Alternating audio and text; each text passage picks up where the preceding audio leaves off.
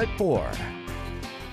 Well, the Durham Museum is getting ready to party like it's 19 the 1970s. It's the era that brought us Star Wars, funky disco, and the lowrider. But they want your help. Lindsay is live to explain.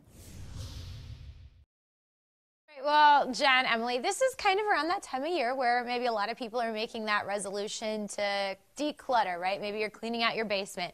You know, so the Durham Museum is saying, hey, if you're cleaning stuff out and maybe some of that stuff is from the 70s, they want it. Take a look. From the happy highs of disco to the tragic lows of Vietnam,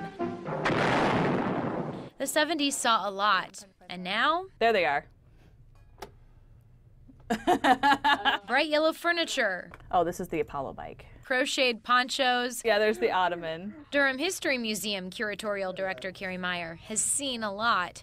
The past few weeks, she's received dozens of picture submissions from Omahans who want to volunteer their 70 era stuff. And the museum is asking for more.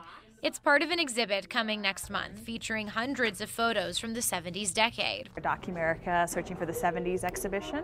And it's from the Smithsonian and National Archives as a partnership. The Durham is asking the public to help set the scene for the Groovy exhibit by loaning their items to the museum. It's a bit of that nostalgia, a little bit of memory making, place making for those who weren't alive in the 70s to sort of see what it was all about. There's three. Oh, wow. Again, the Durham's only borrowing them, so don't worry, you'll get your prized Cabbage Patch doll or Daisy Duke skirt back. Oh, those are cool. After everyone has had a throwback moment of appreciation. The idea is that these uh, objects that the community would give to us for the duration of the show would help create that atmosphere.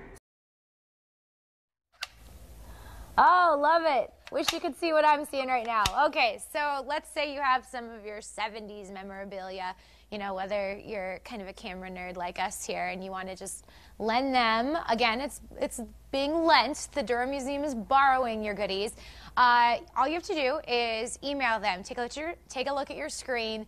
It says uh, 70s at durhammuseum.org. They want you to snap a picture, maybe have a little brief description about, you know, what the item is, what year it from, where you got it, that kind of stuff.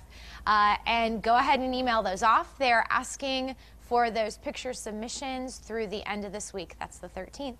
We're live near Benson. I'll send it back to you guys. Very, very cool. And I know we're talking eras right now. When she kept saying 70s, though, I was thinking temps. That's all.